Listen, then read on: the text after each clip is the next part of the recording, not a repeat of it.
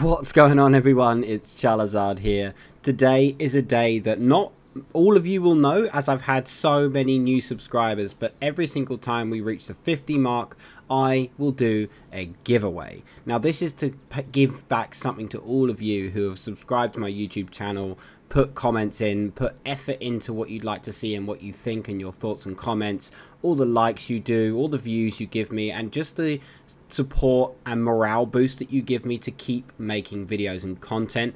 I'm loving some of the new ones as well. We've got new viewers, we've got new people who are, you know, active and comment and stuff, and I really, really enjoy it. It makes it all that much more fun to do. So I'm also considering starting streaming on YouTube. I've had a few people comment in the past, a few people comment recently. Let me know if that's something you'd like to see, and I would more than happily do that. I just wasn't sure that I'd have enough people who would watch, so I haven't thought about doing it yet. I was going to wait until I had more subscribers and, you know, more people following me, but do let me know if you want to see that. But let's jump into the giveaway. So as I mentioned at the beginning of the video, I do a giveaway for every 50 that I reach. That means like 250, 3, 350 subscribers, etc. We didn't actually do a 300 subscriber one, which I'm actually lacking behind. So this one will be a double bond giveaway. So I did this once before. I will be giving away two bonds to the winner. If you don't know how the giveaways work on this channel, go back and have a look at some of the giveaways I've done in the past. We do a wheel, we get all the names from the comments of this video, and then we do a video just spinning the wheel and see who wins. You'll sign up to the Discord. You don't have to stay there. It's just so that I can message you privately and we'll get that trade sorted over to you.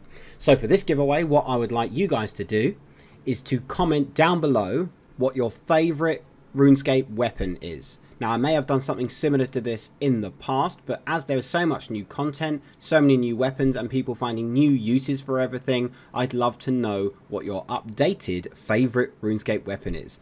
There's no right or wrong answers, so please put whatever you think you find or whatever you do find the most enjoyable when you're playing RuneScape, and I will select all of those comments and chuck them in the next giveaway results video.